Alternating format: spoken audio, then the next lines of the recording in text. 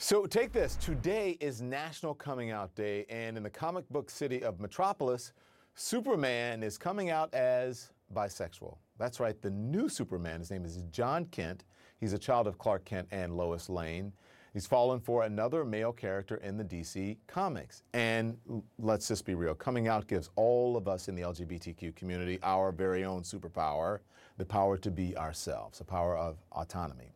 So President Biden commemorated the day by saying this today and every day. I want every member of the LGBTQ plus community to know that you are loved and accepted just the way you are, regardless of whether or not you've come out.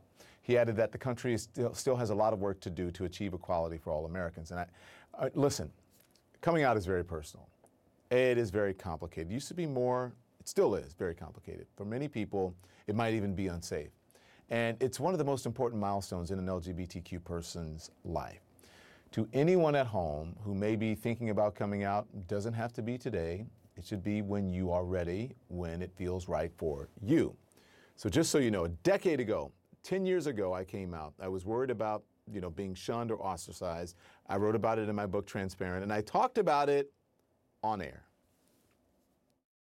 I cared yesterday before it happened. And I don't know if care is a right word for today because uh. I feel like whatever happens from this point on, what will be will be. And if the broadcast industry, if there's not enough room for a gay anchor, gay black anchor, or whatever it is, then um, my career will transform into something else. I will be successful and I will, I will, pros I will prosper at something else. And I think that's a lesson in this, especially to young people, mm -hmm. is that mm-hmm. you can, all you have to do is just keep moving, just stay in the game. It's always my motto, just one foot in front of the other and remain positive and optimistic. On this National Coming Out Day, keep moving and know that there is a community of people who love and support you. On National Coming Out Day, DC Comics announced the new Superman, Jonathan Kent, will be bisexual.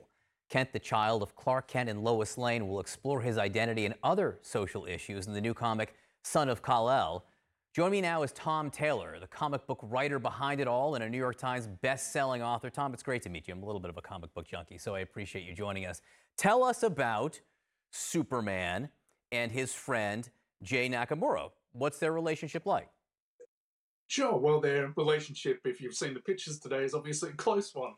Uh, but this Superman is not Clark Kent. I do want to make that clear from the get-go. This is Jon Kent who is actually the son of Clark Kent and Lois Lane. Why? Why did you make this decision? Why did I make this decision? Well, when I was offered the gig to have a new Superman and a new Superman number one for DC Comics, that's a very big thing. And I think the first question I had to ask myself was what does Superman, what should Superman represent today? Um, a new Superman, if you're going to make a new Superman, what should that look like? And it struck me as it would be a real opportunity lost if we had another, if we had Clark Kent replaced by another straight white savior. So here was an opportunity to create a Superman who could represent a whole new group of people. And I think that was one that we had to leap on. And we'll be addressing modern day issues like like the climate crisis, like refugees. Um, Jon, in the last issue, has just been arrested attending a protest trying to stop the refoulement of asylum seekers. Um, he get, does 45 minutes of hard time, is how he puts it. Uh, but as a as a stand, it's a very powerful thing. And yes, yeah, so this is one of the things for him. He is trying to work out who he is, who he is as Superman, who he is as Jon Kent, and so, us as the writer and everybody at DC Comics is watching him go through this process of finding himself and seeing that on the page. What do you say to people who say Superman should just be fighting robots shooting lasers and Lex Luthor and the Legion of Doom, not dealing with this kind of stuff?